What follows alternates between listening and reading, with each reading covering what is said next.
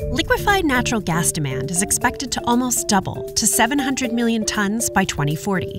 LNG is playing a crucial role in the global energy transition because of its low carbon properties and ability to help meet growing energy demand.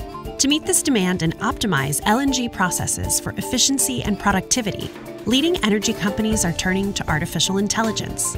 AI can analyze a large set of process variables in near real time, helping companies move beyond simulation to optimizing yield and throughput.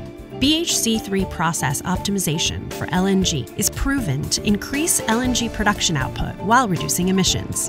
Once you understand the entire process of LNG production through data, machine learning can close the gap between what we are achieving today with simulation and what we can achieve in the future with AI.